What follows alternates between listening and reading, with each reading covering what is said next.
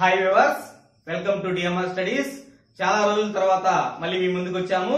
ఈ రోజు మనం చెప్పుకోబోయే టాపిక్ ఏమిటంటే ట్రై మెథడ్ అంటే మెథడాలజీకి సంబంధించిన ఒక ముఖ్యమైన సమాచారం గురించి మీకు ఈ రోజు చెప్తూ ఉన్నాను అనమాట అంటే ఈ రోజు మనం చెప్పుకోబోయే టాపిక్ ఏమిటంటే ఇది ఏపీ మరియు తెలంగాణ సంబంధించి టెట్ మరియు డిఎస్సీ అభ్యర్థులు బాగా ఉపయోగపడుతుంది. ఇటీవల కాలంలో టెట్ నోటిఫికేషన్ అనేటువంటిది రావడానికి అవకాశం ఉంటుందని చెప్పి వార్తలు వస్తున్నాయి ఆ సందర్భంగా దీని గురించి మనం ఈ రోజు ప్రస్తావించుకుందాం. ఖచ్చితంగా దీంట్లో నుంచి బిట్టుబడడానికి ఆస్కారం ఉన్న ఏరియా ఏమిటంటే ఉత్తమ నికష లేదా మంచి నికష యొక్క లక్షణాలు. అంటే మంచి నికష ఒక పరీక్షకు ఉండవలసిన మంచి లక్షణాల గురించి ఏమేమి ఉంటాయో దాని గురించి మనము ఈ రోజు ప్రస్తావించుకుందాం. మన ప్ర- ప్రశ్నాపత్రం రూపొందించినప్పుడు ప్రశ్న పెడితే సరిపోదు. దానికి మంచి మంచి లక్షణాలు ఉన్నప్పుడు మాత్రమే ఆ ప్రశ్నాపత్రం విజయవంతం అవుతుందనే విషయాన్ని మీరు గమనించాలి. మనకి బిట్టు రూపంలో ఇచ్చి ఈ నిక్ష ఏ నిక్షకు సంబంధించింది ఏ లక్షణానికి సంబంధించింది అని చెప్పి అడగడానికి అవకాశం ఉంటుందనే ఉద్దేశంతో ఈ నిక్ష లక్షణాల గురించి ఈ రోజు మనము ప్రస్తావించుకున్నాము అయితే ఈ రోజు వెరైటీగా మనం ఏం చేసామా అంటే అంత ముందు మన లెసన్ మాత్రమే చెప్పుకునే వాళ్ళము. ఈ రోజు లెసన్ చెప్పుకున్న తర్వాత లాస్ట్లో మీకు మూడు బిట్లు ఇవ్వడం జరిగింది. మూడు బిట్లు ఇవ్వడం జరిగింది. ఆ మూడు బిట్లకు మీరు ఈ లెసన్ అయిన తర్వాత ఆన్సర్ పెట్టడానికి ప్రయత్నం చేయండి. ఓకేనా? కామెంట్ రూపంలో కానీ మీరు పొందుపరిచినట్టయితే మీకు ఆటోమేటిక్గా మీ ఆత్మవిశ్వాసం బలపడడానికి అవకాశం ఉంటుందనే ఉద్దేశంతో ఈ రోజు కొత్త పద్ధతిని ఎంచుకోవడం జరిగిందనే విషయాన్ని మీరు గమనించాలి. అయితే మొత్తానికి మనం ఉత్తమ నిష్ట లక్షణాలు ఎలా ఉంటాయో ఒకసారి చూద్దాం. ఉత్తమ నిష్ట లక్షణాల్లో మొట్టమొదటిది ఏమిటంటే సప్రమాణత లేదా ప్రామాణికత. సప్రమాణత లేదా ప్రామాణికత. చాలా ఇంపార్టెంట్ ఉత్తమ నిష్ట లక్షణాల్లో చాలా ముఖ్యమైన లక్షణం ఏమిటంటే సప్రమాణత అనే విషయాన్ని గుర్తుపెట్టుకోవాలా. ఏమి ఇక్కడ ఒకటే కీవర్డ్ గుర్తుపెట్టుకోండి. ఏ అంశమును మూల్యాంకనం చేయాలనుకుంటామో ఆ అంశమును మాత్రమే మూల్యాంకనం చేస్తే అంటే మనం ఏ అంశం అయితే విద్యార్థి నుంచి రావాలనుకుంటామో ఆ అంశమును మాత్రమే మాపనం చేస్తే దాన్ని ఏమంటారంటే సప్రమాణత అంటారు. ఓకేనా? అర్థమైందా మీకు? సప్రమాణత లేకుండా ఏ పరీక్ష కూడా విజయవంతం కాదని మాత్రం గుర్తుపెట్టుకోండి. ఓకేనా? అర్థమైందా? ఏ అంశం మూల్యాంకనం చేయడానికి ప్రతిపాదించామో ఆ అంశంనే మూల్యాంకనం చేస్తే దాన్ని ఏమంటారంటే సప్రమాణత అనడానికి అవకాశం ఉంటుందని మాత్రం గుర్తుపెట్టుకోండి. ఆ అంశం మూల్యాంకనం చేయలేదనుకోండి సప్రమాణత లోపించినట్టుగా మనం గుర్తుపెట్టుకోవచ్చు అనమాట అయితే చాలా మంది సప్రమాణత అంటే ఏమిటో తెలుసుకుంటారు. కానీ సప్రమాణతలో కూడా కొన్ని రకాలు ఉంటాయనే విషయాన్ని మీరు గమనించాలి. ఇప్పుడు పేపర్ ప్రశ్నాపత్రం యొక్క తీరు కూడా మారిపోయింది. అంతకుముందు డైరెక్ట్ బిట్లు అడిగేవాడు ఇప్పుడు లోపల కూడా అడుగుతున్నారు అనే విషయాన్ని మీరు గమనించాలి. సప్రమాణత మళ్ళీ ఎన్ని రకాలు అంటే ఐదు రకాలు ఉన్నాయి సప్రమాణత ఎన్ని రకాలు ఉన్నాయి ఐదు రకాలు ఉన్నాయి ఆ ఐదు రకాల మొట్టమొదటి సప్రమాణత ఏమిటంటే ముఖ సప్రమాణత. ముఖ సప్రమాణత. దీంట్లో ఏమిలా? నికషలో ప్రశ్నలు ఏ పాఠం నుంచి అంటే ఏ పాఠం నిర్వహిస్తామని చెప్తామో ఆ పాఠం నుంచే అడగాల. ఓకేనా? అర్థమైందా? ఏ పాఠం నుంచి నిర్వహిస్తామని చెప్తామో ఆ పాఠం నుంచి అడిగితే దాన్ని ఏమంటారంటే ముఖ సప్రమాణత అంటారు. ముఖ సప్రమాణత అంటారు. ఫర్ ఎగ్జాంపుల్ తీసుకోండి. సైకాలజీలో తీసుకున్నట్టయితే మూర్తిమత్వం అనే పాఠం ఉంది అనుకోండి ఆ మూర్తిమత్వం అనే పాఠానికి నేను ఎగ్జామ్ పెడతానని చెప్పి అభ్యాసం అనే పాఠానికి సంబంధించిన ప్రశ్నలు కానీ ఇచ్చినట్టయితే ఏమి లోపించినట్టు అక్కడ? ముఖ సప్రమాణత అనేటువంటిది లోపించినట్టుగా మనము అవగాహన చేసుకోవచ్చు. అర్థమైంది మీకు? మూర్తిమత్వం అనే పాఠానికి సంబంధించిన ప్రశ్నలు అడుగుతా ఉన్నప్పుడు మూర్తిమత్వం పాఠానికి సంబంధించిన ప్రశ్నలు అడిగితే దాన్ని ఏమంటారంటే ముఖ సప్రమాణత అంటారనే విషయాన్ని మీరు తెలుసుకోవాలి. అది ముఖ సప్రమాణత. ఒక ఏం లేదు కీవర్డ్ గుర్తు పెట్టుకుంటే ఆటోమేటిక్గా బిడ్డకి ఎలిమినేషన్ చేయడానికి అవకాశం ఉంటుంది. నెక్స్ట్ విశేష సప్రమాణత.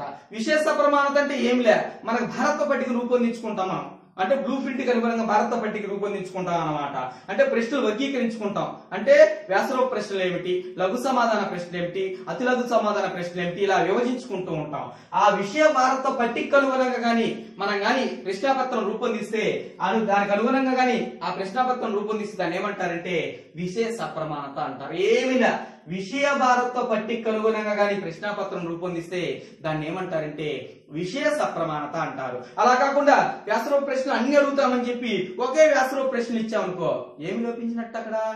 విషయ సప్రమాణత లోపించినట్టుగా మనం అవగాహన చేసుకోవచ్చు. ఓకేనా? అది విషయ సప్రమాణత. ఏ కీవర్డ్ గుర్తు పెట్టుకుంటే మనం బిట్టికి ఎలిమినేషన్ చేయడానికి అవకాశం ఉంటుంది. నెక్స్ట్ కారక లేదా తయారీ సప్రమాణత. కారక లేదా తయారీ. దీంట్లో ఉంది కారక అని. ఏం లే ఇక్కడ మనం? రెండు పాఠ్యాంశాల మధ్య రెండు పాఠ్యాంశాల మధ్య సంబంధం ఉన్నప్పుడు ఓకేనా?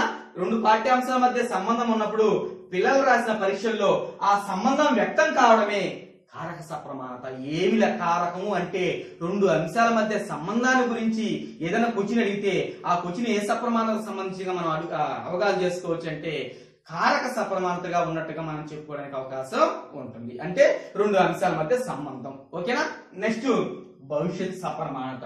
భవిష్యత్ సప్రమాణత అంటే అర్థం ఏంటంటే ఈ ఒక నిరీక్ష నిర్వహించేటప్పుడు విద్యార్థుల యొక్క భవిష్యత్ సామర్థ్యాలను అంచనా వేయడానికి అవకాశం కల్పిస్తే విద్యార్థి యొక్క భవిష్యత్తుకు సంబంధించిన అంశాల గురించి అంచనా వేయడానికి కానీ పరీక్ష నిర్వహిస్తే దాన్ని ఏమంటారంటే భవిష్యత్తు సప్రమాణత అంటారనే విషయాన్ని మీరు గుర్తుపెట్టుకోలేదు ఏమైనా కీవర్డ్ భవిష్యత్తు వస్తే భవిష్యత్తు సప్రమాణత.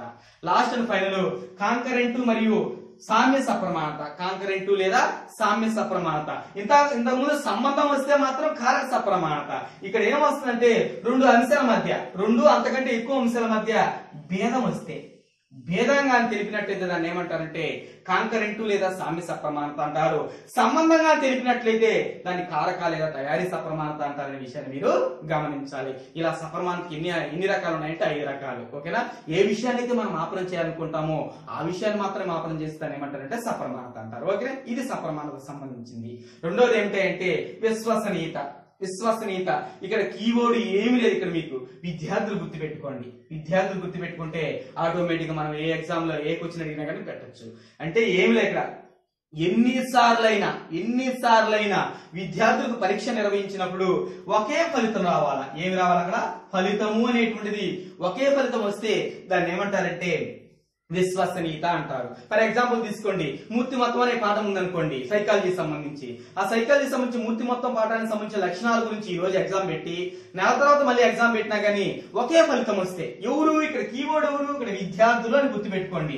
ఉపాధ్యాయులు గుర్తుపెట్టుకుంటే వేరేది అయిపోతుంది ఇక్కడ విద్యార్థులకి ఎన్నిసార్లు ఎగ్జామ్ పెట్టినా కానీ ఒకే రకమైన ఫలితం వస్తే దాన్ని ఏమంటారంటే విశ్వసనీయత అంటారు. అందుకే రాస్ అనే శాస్త్రవేత్త ఏమన్నా అంటే విశ్వసనీయత అంటే నిలకడ అన్నాడు. విశ్వసనీయత అంటే నిలకడ అని చెప్పిన వ్యక్తి ఎవరంటే రాస్ అనే వ్యక్తిని మాత్రం గుర్తుపెట్టుకోండి. అందుకే అన్ని లక్షణాల్లో కల్లా చాలా ముఖ్యమైన లక్షణం అనే విషయాన్ని గుర్తుపెట్టుకోవాలా. ఈ విశ్వసనీయత ఏం చేస్తుంటే ఒక మాపం యొక్క ఖచ్చితత్వాన్ని గురించి తెలుపుతుంది. ఖచ్చితత్వం.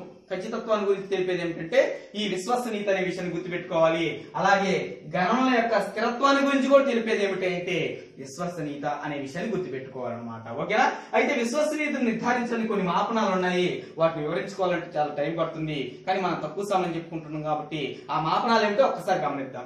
మొట్టమొదటి పరీక్ష పునం పరీక్షా పద్ధతి. పరీక్ష మరియు పునం పరీక్షా పద్ధతి ద్వారా మాపనం చేయొచ్చు. అలాగే బేసి మరియు సరి ద్వికరణ పద్ధతి. బేసి మరియు సరి ద్వికరణ పద్ధతి ద్వారా చేసుకోవచ్చు. సమాంతర రూప రూప పద్ధతి. నెక్స్ట్ కూడా రిచర్డ్సన్ పద్ధతి అని చెప్పి ఈ నాలుగు పద్ధతుల ద్వారా విశ్వసనీయతను మాపనం చేయడానికి అవకాశం ఉంటుందనే విషయాన్ని మీరు గమనించాలి. నెక్స్ట్ లక్ష్యాత్మకత. దీనికి అనేక పేర్లు ఉన్నాయి. వస్తు నిష్ఠత వస్త్రాశ్రయత అని చెప్పి అనేక పేర్లు ఉన్నాయి. దీని అర్థం ఏమిలా? ఇక్కడ కీవర్డ్ ఎవరంటే ఉపాధ్యాయులు. ఓకేనా? ఎంత మంది ఉపాధ్యాయులు పరీక్ష పేపర్ను దిద్దినా ఒకే ఫలితం గాని వచ్చినట్లయితే దాన్ని ఏమంటారంటే లక్ష్యాత్మకత అని మాత్రం గుర్తుపెట్టుకోండి. ఉపాధ్యాయులు అంటే లక్ష్యాత్మకత విద్యార్థులు అంటే విశ్వసనీయత అని చెప్పి ఒక చిన్న కొండ గుర్తుని కానీ గుర్తుపెట్టుకోండి. ఓకేనా? అది ఎంతమంది ఉపాధ్యాయులు పరీక్ష పేపర్ దిద్దినా కానీ ఒకే ఫలితం కానీ వచ్చినట్టయితే దాన్ని ఏమంటారంటే లక్ష్యాత్మకత అంటారు. ఇది ఎప్పుడు అవకాశం ఉంటుందంటే బహుళచ్చ ప్రశ్నలు ఖాళీలు పూరించడం ఇలాంటి క్వశ్చన్లు అడిగినప్పుడు ఇలాంటి సాధ్యమవుతుందనే విషయాన్ని మీరు గమనించాలి. ఎంతమంది ఉపాధ్యాయులు దిద్దినా బిట్ పేపర్ దిద్దితే అందరికి ఒకటే రకమైన ఫలితాలు వస్తాయా రావా? ఖచ్చితంగా వస్తాయనే విషయాన్ని గుర్తుపెట్టుకోవాలా. అది లక్ష్యాత్మకత అనే విషయాన్ని మీరు గుర్తుపెట్టుకోవాలా. నెక్స్ట్ విచక్షణ శక్తి లేదా వర్గీకరణ శక్తి. దీంట్లో ఏమి లే కీవర్డ్ ఏదైనా ఒక ఎగ్జామ్ పెట్టినప్పుడు ఎక్కువ సామర్థ్యం గలవారు మధ్య సామర్థ్యం గలవారు చిన్న అంటే తక్కువ సామర్థ్యం గలవారు అని విభజించే సామర్థ్యం ఉండాలి. ఓకేనా? ఎగ్జామ్ పెట్టినప్పుడు అందరికి వంద వంద మార్కులు వస్తే ఆ క్వశ్చన్ పేపర్ వేస్ట్ అనమాట ఏ సామర్థ్యం ఉండాలా? ఎక్కువ సామర్థ్యం వాళ్ళు విభజించాలా? సాధారణ సామర్థ్యం వాళ్ళు విభజించాలా? తక్కువ సామర్థ్యం వాళ్ళు అలా వర్గీకరించే సామర్థ్యాన్ని ఏమంటారంటే విచక్షణ శక్తి అంటారు. ఖచ్చితంగా నెక్స్ట్ ఉండవలసిన లక్షణం ఏమిటంటే ఈ లక్షణం అని మాత్రం గుర్తుపెట్టుకోండి. అయితే ఆ విచక్షణ శక్తిని ఏ పద్ధతి ద్వారా అంచనా వేస్తామంటే అంశ విశ్లేషణ ద్వారా అంశ విశ్లేషణ పద్ధతి ద్వారా అంచనా వేస్తారని మాత్రం గుర్తుపెట్టుకోండి. ఇక్కడ కారక విశ్లేషణ వేరేది వస్తుంది మళ్ళీ. ఇక్కడ అంశ విశ్లేషణ ద్వారా వస్తారనే విషయం మీరు గమనించాలి. నెక్స్ట్ సమగ్రత లేదా వ్యాపకత. ఏదైనా ఒక ఎగ్జామ్ పెట్టేటప్పుడు అన్ని అంశాలు కవర్ అయ్యే విధంగా ఉండాలి? చూడండి. పరీక్ష నిర్వహించేటప్పుడు ప్రశ్నాపత్రము సమగ్ర స్వరూపాన్ని తిరిగి కలిగి ఉండాలి సమగ్ర స్వరూపాన్ని అన్ని అన్ని క్వశ్చన్స్ అన్ని పాఠ్యాంశాలకు అనుగుణంగా ఆ క్వశ్చన్ పేపర్ కానీ తయారు చేసినట్టయితే దాన్ని ఏమంటారంటే సమగ్రత లేదా వ్యాపకత అంటారనే విషయాన్ని మీరు గుర్తుపెట్టుకోవాలన్నమాట. Last final ఆచరణాత్మకత. ఆచరణాత్మకతను నిర్ణయించే అంశాలు కొన్ని ఉన్నాయన్నమాట. ఏంటంటే పరీక్ష పేపర్ పెట్టేటప్పుడు నిర్వహణ సౌలభ్యం ఉండాలి. నిర్వహించే సౌలభ్యం అన్నమాట. క్వశ్చన్ పేపర్ సైజ్ కానీ ఇలాంటి తావు లేకుండా మంచి మంచి క్వశ్చన్ పేపర్ ఉండేటట్లు సమయం పొదుపుగా ఉండేటట్లు ఇలా నిర్వహణ సౌలభ్యం ఉండాలి అలాగే గణనా సౌలభ్యం ఉండాలి అలాగే ఆ క్వశ్చన్ పేపర్ను వ్యాఖ్యానించే సౌలభ్యం కలిగి ఉండాలి. ఇలాంటి ఆచరణాత్మకతను కలిగి ఉండేటట్లు ఖచ్చితంగా క్వశ్చన్ పేపర్ ఉండాలని మాత్రం గుర్తుపెట్టుకోండి.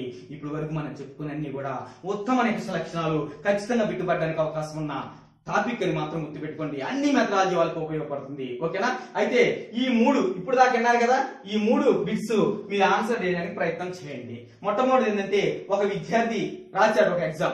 ఆ సమాధాన పత్రాన్ని మొట్టమొదట నలుగురు ఉపాధ్యాయులు దిద్దితే ఒకే మార్కులు వచ్చాయి. నలుగురు ఉపాధ్యాయులు దిద్దితే ఒకటే మార్కులు వచ్చాయి. అయితే ఆ ప్రశ్న పత్రానికి ఉన్న లక్షణం ఏమిటి? ఆ ప్రశ్న పత్రకు ఉన్న లక్షణం ఏమిటో మీరు కామెంట్ రూపంలో పొందుపరచండి. ఓకేనా? నెక్స్ట్ మాపనం చేయదలుచుకున్న విషయము ఆ విషయాన్ని ఏ విషయాన్ని అయితే మాపనం చేయాలనుకుంటామో అదే విషయాన్ని మాపనం చేస్తే అది ఏ లక్షణాన్ని కలిగి ఉంది? అదే విషయాన్ని మాపనం చేస్తే ఏ లక్షణాన్ని కలిగి ఉంది? అది కూడా కామెంట్ రూపంలో పొందుపరచండి. నెక్స్ట్ యాభై మంది విద్యార్థులు ఒక ప్రశ్నపత్రాన్ని దిద్దారు ఓకేనా? ఆరు మంది అంటే యాభై మంది విద్యార్థుల యొక్క ప్రశ్న పత్రాలని ఆరు మంది ఉపాధ్యాయుల చేతే దిద్దితే దిద్దారు మొట్టమొదట.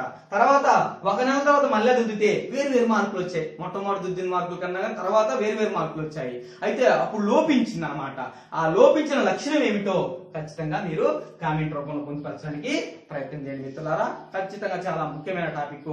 దీంట్లో నుంచి బిట్టుపడడానికి వంద వంద శాతం అవకాశం ఉందనే విషయాన్ని మీరు గమనించాలి. ఓకే మిత్రులారా? Thank you.